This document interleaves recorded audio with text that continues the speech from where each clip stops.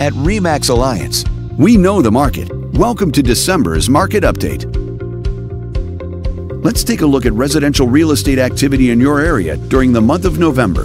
The number of active listings was down 75% from one year earlier and down 40% from the previous month. This smaller inventory means that buyers who waited to buy may have had a smaller selection to choose from.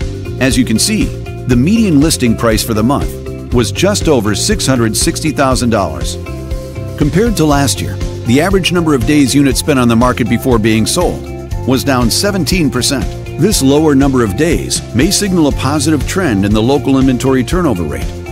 The median sale price was just over $700,000. The number of units sold decreased 15% year over year and increased 6% month over month. Despite a slight annual decrease, this upward monthly sales trend indicates positive momentum.